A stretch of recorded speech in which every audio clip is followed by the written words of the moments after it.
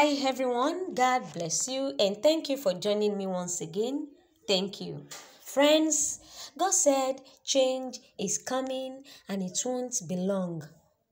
You can begin to imagine, begin to see different aspects in your life, in your home, in your career or ministry where you need the touch of God for a change.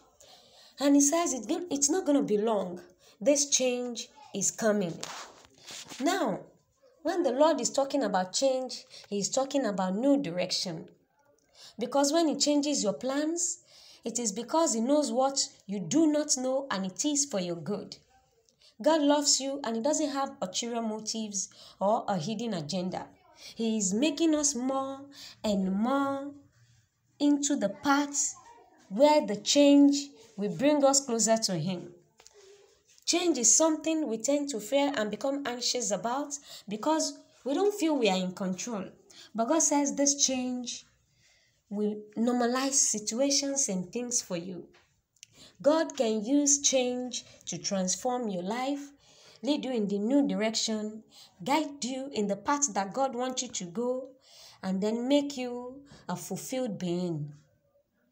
The Bible says in the book of Job, For there is hope for a tree when it is cut down, that it will sprout again, and its shoots will not fail.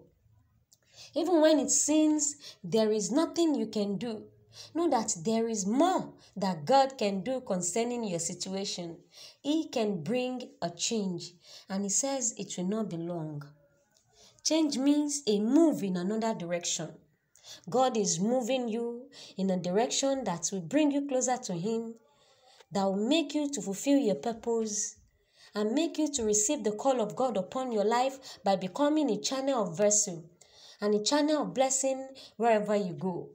Beloved, change is coming and it won't be long. Praise God. God bless you all. Peace and love of God.